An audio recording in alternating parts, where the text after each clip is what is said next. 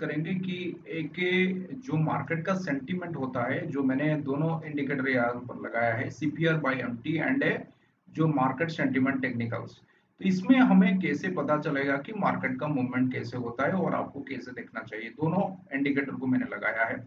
तो आप देखिए मार्केट का क्या होता है। तो मैंने आपको काफ़ी सारे पॉइंट आपको बता चुका हूँ कि जो सीपीआर बाय एमएफटी होता है मल्टी टाइम फ्रेम होता है तो यहाँ से आप लगा सकते हैं जो टाइम फ्रेम आप चाहते हैं तो आप लगा सकते हैं। मैक्सिमम थर्टी मिनट या वन आवर का आप लगाइए तो आपको पता चल जाएगा कि मार्केट का सेंटीमेंट के साथ आपका जो सीपीएल लाइन होता है, वो सीपीएल लाइन आपको कहाँ से मार्केट रिकवरी कर रहा है सपोर्ट ले रहा है, और कितना ऊपर जाएगा तो ये बात आपको कहाँ पर सपोर्ट मिलेगा, नहीं मिलेगा, ये आपको दिखाई देता है।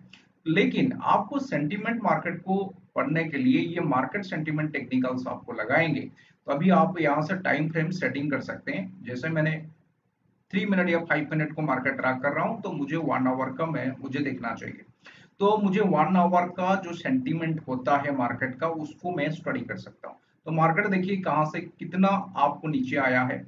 और जो वन आवर बेसिस में जो यहाँ से 11 जो इंडिकेटर है one two three four five six seven eight nine ten eleven तो जो इलेवन इंडिकेटर है, कुछ इंडिकेटर ओवरसोल्ड ओवरबॉट के लिए होता है, कुछ इंडिकेटर आपको ट्रेंड के लिए होता है बुलिस या बियरिश ट्रेंड के लिए होता है। तो छह इंडिकेटर आपको बुलिस या बियरिश के लिए है और आपको पाँच इंडिकेटर जो है ओवरबॉट ओवरसोल्ड के लिए है।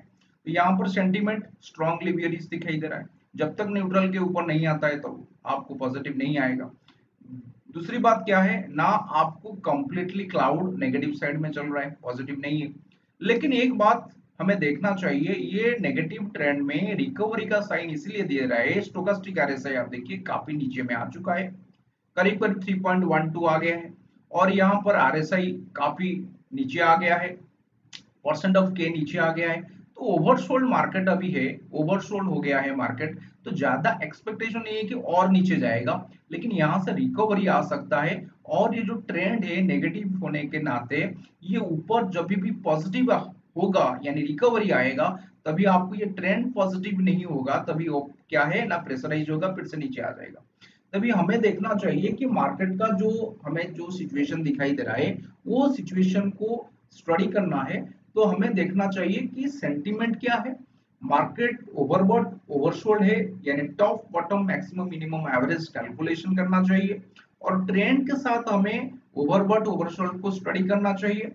और दूसरी बात है सेंटीमेंट के साथ हमें लेवल भी देखना चाहिए। और जो सीपीआर का जो स्ट्रेंथ होता है सेंट्रल पीवट लाइन का जो स्ट्रेंथ होता है मैक्सिमम आप जितना बड़ा टाइम फ्रेम के साथ आप इसको सेलेक्ट करेंगे, तभी रिज़ल्ट अच्छा आएगा। जैसे आप देखिए डे बेसिस का आपको कैसे देखने के लिए मिल रहा है। तो आप इसको हटा दीजिए। यहाँ पर देखिए वन आवर मैंने लगाया है। इसको डे बेसिस में कर देता हूँ। देखिए डे बेसिस का आपको सेंट्रल पीवट लाइन कहाँ है? ठीक है डे बेसिस का सेंट्रल पीवट लाइन यहाँ से।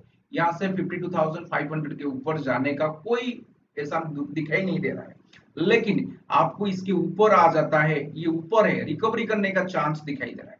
तो आप इसको ऐसे देख सकते हैं। इसको आपको चेंज करना है तो वीकली बेसिस में आप देखिए कहाँ है। काफ़ी स्ट्रॉन्गली रेजिस्टेंट पॉइंट क्रिएट हुआ है नैरो लाइन क्रिएट हुआ है।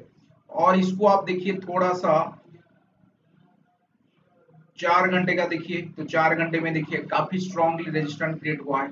तो मैक्सिमम रिकवरी आता है तो 200-300 पॉइंट आ सकता है। और जो नीचे का जो पॉइंट है, उसको आप थोड़ा सा बड़ा कर कर देखेंगे। इसको मैं आपको वन वीक और वन मंथ का मैं लगा रहा हूँ। तो देखिए, यहाँ से क्या दिखाई दे रहा है? इसको थोड़ा बड़ा टाइम फ्रेम के साथ हम देख लेंगे। तो हमें दिखने के लिए मिल रहा है तो सपोर्ट जो है 51,500 के करीब करीब मैक्सिमम आएगा तो अदरवाइज़ यहाँ से रिकवरी होगा तो ऊपर जाएगा। तो आज के वीडियो में हमने बात कर रहे हैं कि जो सेंट्रल पीवट लाइन है और उसको आप सेंटीमेंट के साथ आपको कैसे देखना चाहिए। तो सेंटीमेंट के साथ सेंट्रल पीवट लाइन को आप देखेंगे क्योंकि आप यहाँ से देखिए ये जो ट्रेंड है यहाँ से वन डे बेसिस में ये पॉजिटिव है। स्टोकास्टिक आरएसआई पूरा ओवरसोल्ड लेवल पर अब डे बेसिस का देखिए, यहाँ से ये जो सेंटीमेंट है, ये आपको क्या है? ना बुलिस है, लेकिन ओवर सोल्ड लेवल पर मार्केट अभी स्टोकास्टिक आरएसआई है तो इसको हमें पॉजिटिव या नेगेटिव के साथ लेंगे या नहीं लेंगे चॉइस अपना होना चाहिए। Thank you so much